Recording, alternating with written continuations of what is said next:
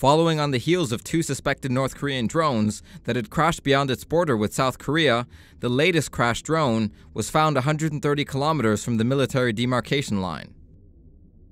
The latest drone was first found by a wild ginseng digger in October last year in the area of Cheongok Mountain, but was only reported to military officials last Friday.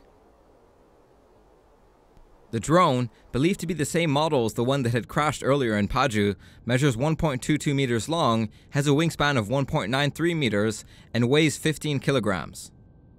The unmanned vehicle is also fitted with a Japanese made Canon camera.